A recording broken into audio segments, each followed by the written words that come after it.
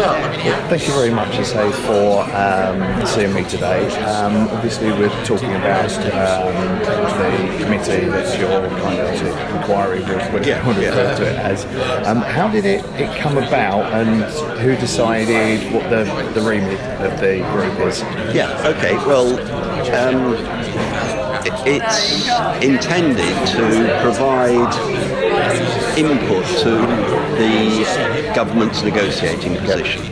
Um, I was commissioned by Lord Newby, um, Liberal Democrat leader, uh, to look in particular at the construction industry because of my background, and uh, other members of the House of Lords, also Liberal Democrats, are looking at other sectors of the economy.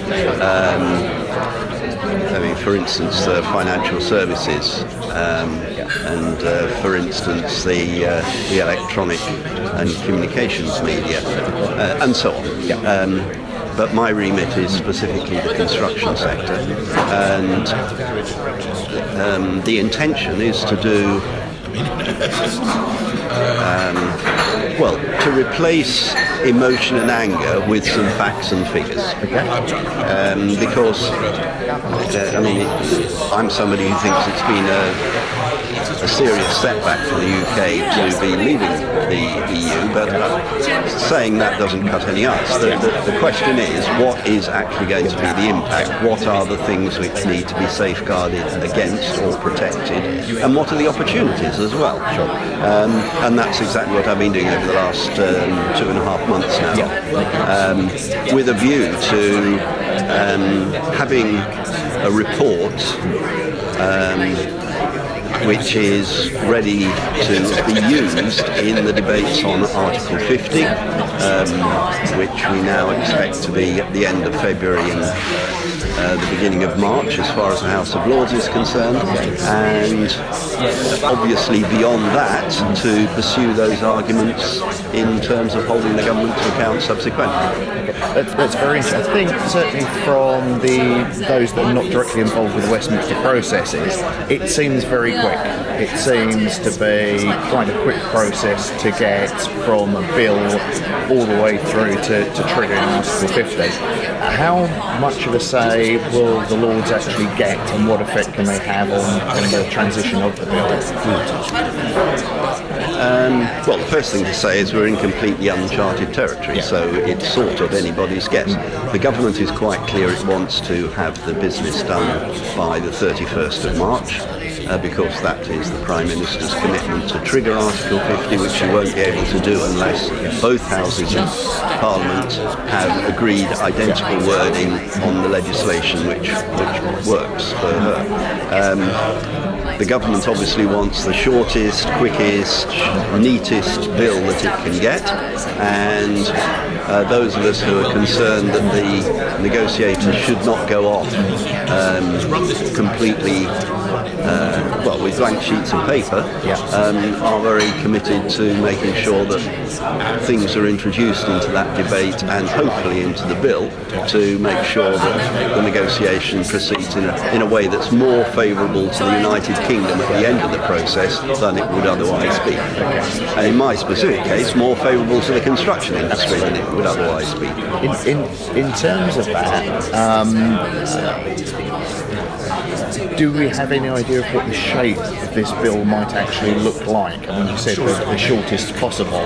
Um, i- is there any indication at this stage as to Well, they, they said on Tuesday that they would publish it within days, Yeah. so we'll probably know by the end of this week. Um, I think they'll do their very best to get to get it on two sides of paper, but um, Okay. Um, from the construction industry's point of view, what can we do to get our voice heard above the various other groups, the bankers, the automobile industry? What, Yeah, yeah. what, what role can we take in, in getting that voice heard? Yeah, well, I certainly think there's a deficiency there at the moment. Uh, I mean, we've seen um, ministerial recognition of the special case of financial services, the special case of the car industry, even the special case of the agriculture industry, uh, with some kind of commitment that they will still be able to bring lettuce pickers in um, regardless of, of anything else. But nobody, no minister has, as far as I can see, engaged with the construction industry to say what are the vital interests of that industry. So, I mean, what I'm doing and what other people are doing as well, uh, I'm not the only person with this thought in mind, is trying to make sure that when ministers go off to Brussels, they have got something written on their sheet of paper about the construction industry. Okay. And do you feel it? You, you said no, no minister has engaged with the construction industry. Is, is it for the construction industry to do better at engaging with a minister rather than a minister engaging with the construction industry? Which, which way round should it be? I mean, do you feel that the RIBA have been vocal enough in actually setting out, for example, what they would like to see for architects? Uh, well, I mean, the first thing to say is that the professional institutes um, combined to write a letter to the uh, to David Davis, the Secretary of State for Brexit, uh, back in September, Yeah. uh, which was uh, it's in the public domain, and I'm sure the AJ will have covered it. Uh, and it's I, I think it's got um, you know a reasonable amount of headline stuff uh, about what needs to happen. Um, uh, I'm, I've actually had conversations with um, Andrew Forth at the RIBA, and uh, he's sending me some more briefing stuff um, at the end of this week. I was talk, uh, you know, I was emailing him earlier on this week, um, and. Um, I mean, it's really for the RIBA to say what contact they've had uh, with government, but the, the impression that I've got from quite a lot of different quarters uh, within the industry who are and at the level where they're quite used to interacting with government at one level or another is that the message coming back to them is well we'll look at we'll you know we'll, we'll talk to you but don't come bringing problems come bringing solutions. Um, and it's there's a certain amount of um, la la laring by ministers, uh, you know, when anybody gets near them with a with a hard luck story.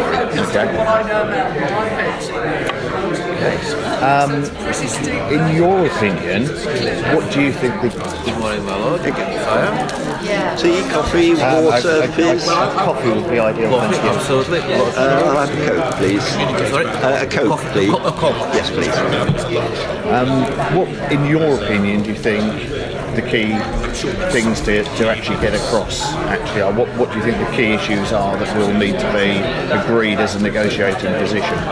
Well, I think the first thing the government's got to recognise is that uh, having a healthy, expanding construction industry is central to them delivering their infrastructure and housing agenda. I really don't think they've got that at the moment. Um, and um, so it isn't just special pleading by some hard up blokes on a building site. Uh, it's do you really want a million houses by 2020? Do you really want high speed 2, runway 3, Hinkley Point, uh, the biggest rail uh, infrastructure investment, etc.? The Northern Powerhouse, the Thames Tideway, Crossrail 2. It, and I mean, the, the, the, the figuring that's come to me is that to deliver those on the timescale the government's talking about needs the construction industry to expand by about 35%. It's expand its capacity by about 35%. If it's a hard Brexit, it will shrink by 9%.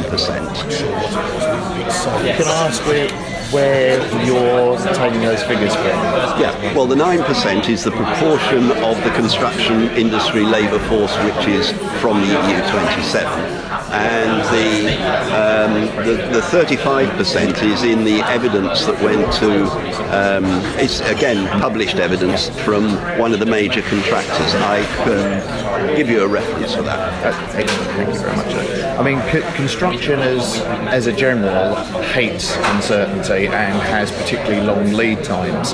Um, we, we spoke briefly there about um, construction putting across a special case, but not just pleading it's it's hard done yes. by. Um, Given that construction has low margins and there's uncertainty in currency fluctuations and things of this kind, um, is there anything that can be done to, to assist in the transition of these large projects in the way that we've seen for agriculture or um, other special cases? Well, I I guess the number one ask uh, is that the existing EU workforce needs to be given some security of tenure. Um, because if they start to leave, um, driven either by uh, some real measures or by a perception, then the industry will start to slow down, particularly in London. I mean, 54% of the labour, of the construction labour force in London is from the other, from the EU 27. Yeah. And there's some evidence I saw yesterday that Barratt have submitted. Um, thank you. Barratt, uh, Barratt have submitted evidence to say that for their housing in London, 59% of their construction force is 20 is from the EU 27.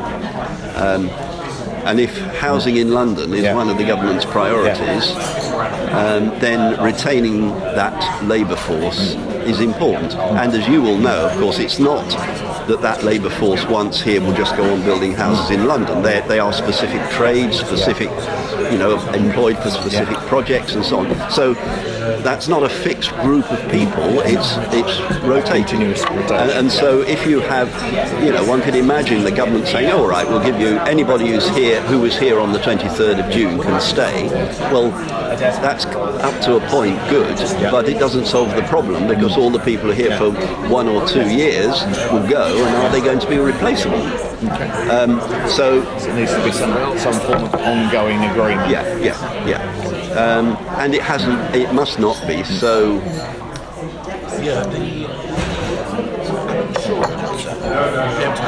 yes, I mean the. Um, I mean Barratt's again made the point that as well as their 59% of um, EU 27 workers, 10% of their workforce are from other parts of the world. Um, and they made a point about you can only get that those workers from other parts of the world through the tier two visa system, which is very cumbersome and long-winded, and therefore they don't do it. I mean, it's if they've got a specialist that they really want, um, then they will go to the trouble of doing it. But the the, cons- the evidence I've taken, not just from, not from Barratt specifically, but from a wide range of contractors, is that um, the palaver, the problems of getting in people through the non-EU system is a major disincentive. Um,